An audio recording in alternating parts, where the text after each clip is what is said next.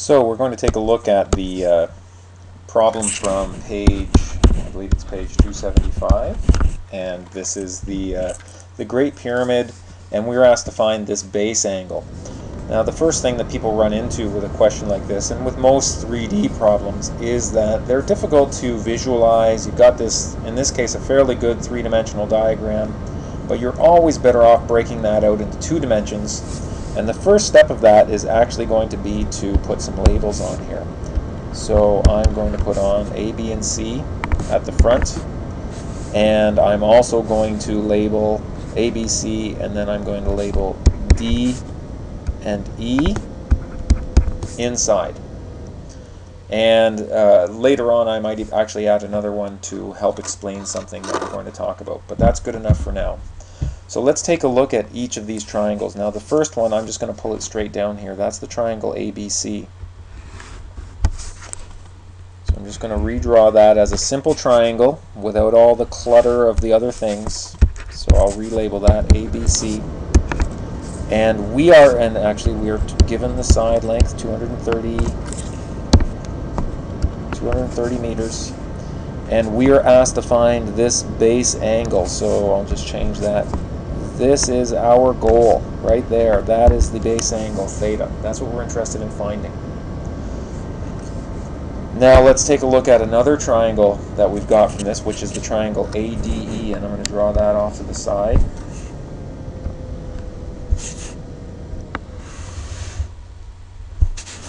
So there is the triangle ADE. And we are given some information about this one as well. We know that this is a right angle and we're told that this corner angle at the at the vertex E is equal to 52 degrees. We actually have one additional piece of information on this triangle because, and now this is where I'm going to introduce uh, another label, so an extra label that's that's going to be helpful for me. I've got A, B, C, and I've got D and E.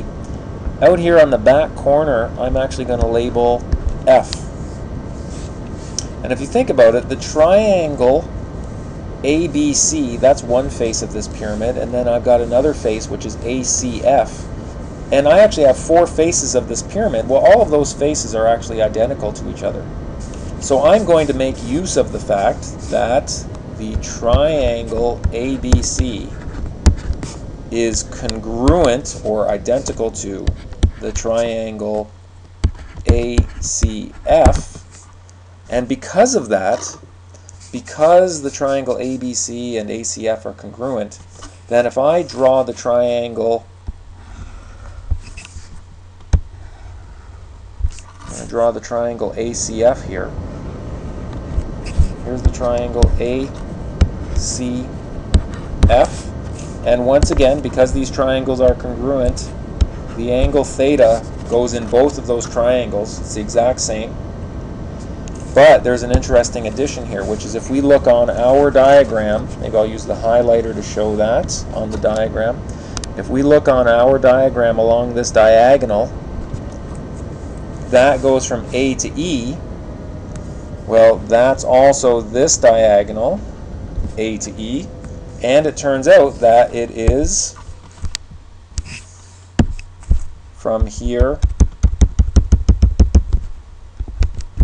down to there. So there is the point E on that other triangle.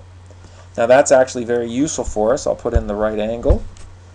And that's really useful because now we have a way to connect our triangle from the interior of the pyramid to the exterior face of the pyramid and the exterior face has the angle theta which is what we want.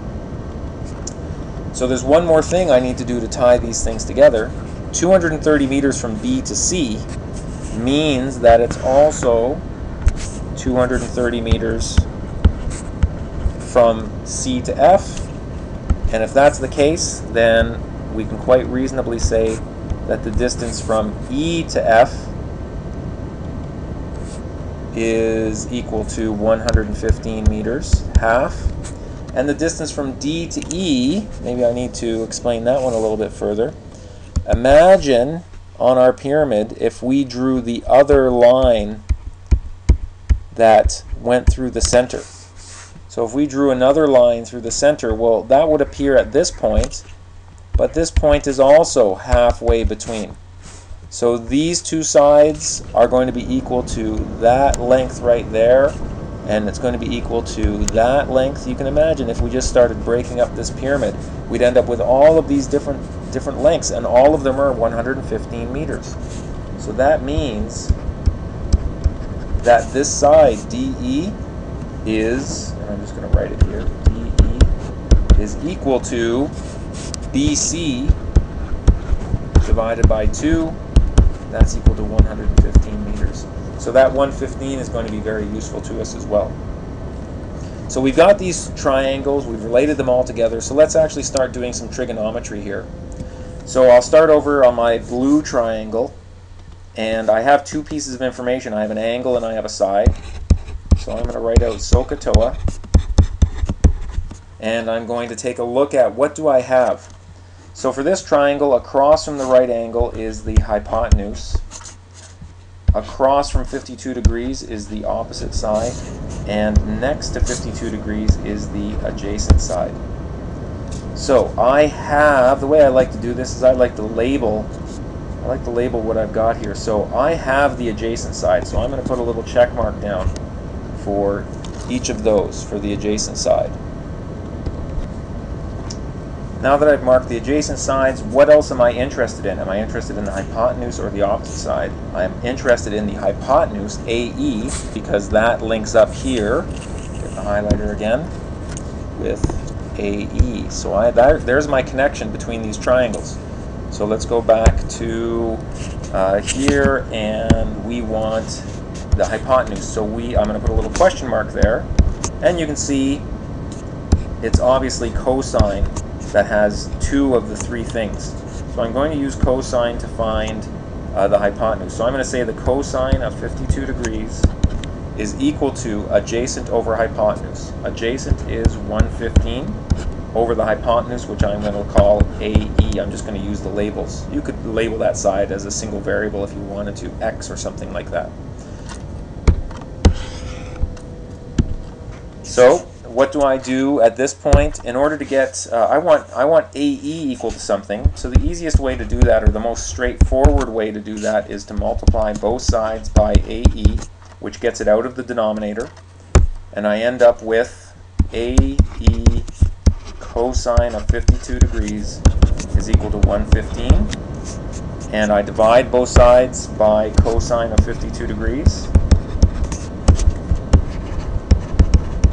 and I end up with AE is equal to 115 over the cosine of 52 degrees. AE approximately equal to, and I'm just going to use my calculator to come up with this one. And I end up with 115 divided by the cosine of 52 is equal to 186. 7910 and that's rounded to four decimal places. I could also keep the exact the exact value from the previous line um, and actually I'm keeping all of the digits in my calculator so technically I'm using the exact value as I go forward. So now next step let's take a look at we're going to try to find the value for theta and for theta, I actually, I don't need this whole uh, triangle ACF. I actually only need part of this triangle ACF. So I'm going to break off just the part of the triangle that I need, which is the right triangle AEF. And you can probably see why that's useful to me because AE is this value. So that goes there. The angle theta is what we've been asked for for this question. That's what we're interested in.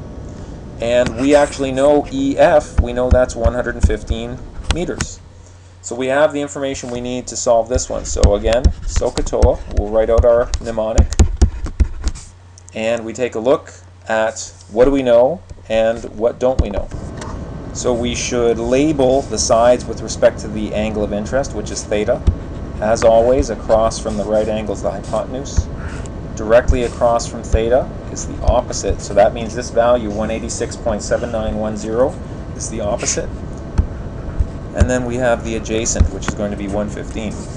So we know the opposite, that's what we calculated.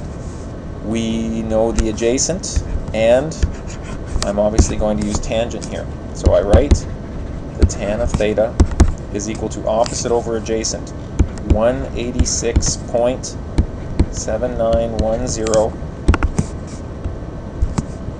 divided by 115 and I could resolve that. Let's go ahead and turn that into an actual value. Now remember I told you I'm actually using the value still stored in my calculator, which I'm then just going to divide by 115. And that gives me a value of approximately 1.6243. And then I take the inverse tangent of that value, 1.6243. But again, I'm keeping all of my digits, and I end up with, so with no actual rounding having taken, taken place here, I end up with 58.38 degrees. And the question, if you look back at what the question asked for, it actually asks for the nearest degree. So I'm going to give my final answer. Therefore, base, that's really awful. I'm trying not to cover up the microphone as I as I write here, so let me just write on the right hand side, makes it easier. Therefore, the base angle is 58 degrees. And that's it. That's the end of our question. So you can see the key to this question really was to label label the pyramid if you've got a good 3D drawing and then from that drawing break out the two-dimensional drawings and you try to form some sort of relationship between the values in all three of those drawings. So for example, we took the value of 230 meters and we used that to find these values of 115. That was one of the relationships. And then we had this side AE, we were able to relate to this vertical line AE in the face triangle as well. And then from there, it's really simple right angle trigonometry. Be careful with your calculations. Um, keep as many decimal places as you can going forward until you get to a final answer and only round when you're reporting your final answer. Okay, I hope that was helpful and uh, we'll see if this goes well. I'll put some others online.